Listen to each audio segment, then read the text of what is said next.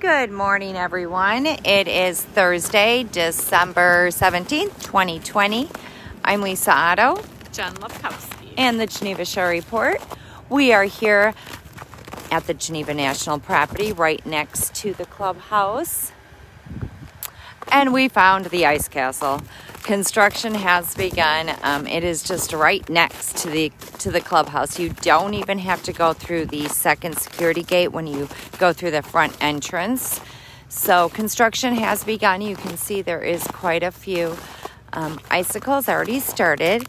Now they have to harvest, grow and harvest like 10,000 icicles a day to make um, this possible. And of course, we're not permitted to go beyond the fence right now because it's still under construction and not open yet. I believe they plan on opening in January of 2021. So they do have a pretty good start so far, and it is cold enough, so that's good. Now, initially, we were under the impression they were going to start, or they were going to have the ice castle located in a more shaded area to help um, keep the icicles frozen and to keep the structure in place longer.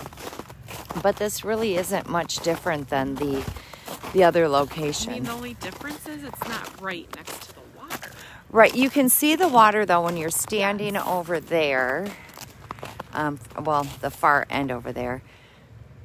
But you can see they have quite a bit going and it looks rather large you know what? The footprint looks larger than, than what I envisioned. Yeah.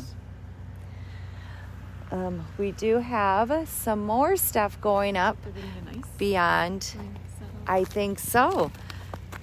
Beyond here, and I believe they're getting an ice rink and they're going to have it all lit up around it. But they're working away on that today as well. But just in case you were wondering, ice castles they are coming back and they plan on opening January 2021 and construction has begun.